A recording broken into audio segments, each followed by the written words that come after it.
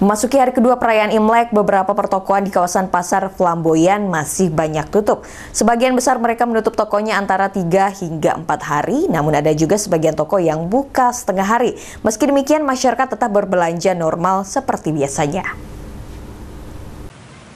Inilah sebagian toko yang masih terlihat tutup di kawasan pertokoan Pasar Flamboyan. Mereka rata-rata memberikan pengumuman dengan menggantungkan tulisan kapan mereka akan kembali membuka toko.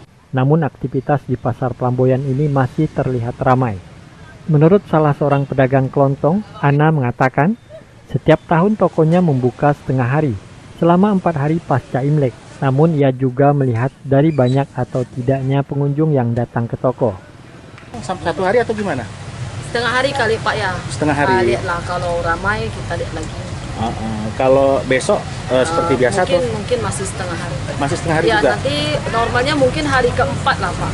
Normalnya hari keempat ya? Hmm. Kalau selama Imlek memang rutin tutupnya tutup satu hari atau full setengah hari? Dari dulu sih setengah hari aja. Dari dulu setengah hari ya, selama empat hari itu ya? ya? Iya, iya setengah hari. Di Imlek tahun ini ada harapan nggak? Ya, Harapannya seperti apa? Kondisi ekonomi lebih bagus, masyarakat lebih sehat ya, ekonomi lebih baik lah. Untuk harga-harga gimana? Harga sih belum ada yang turun sih. Oh, tetap masih anu Iya, ya, masih iya, tinggi ya? Iya.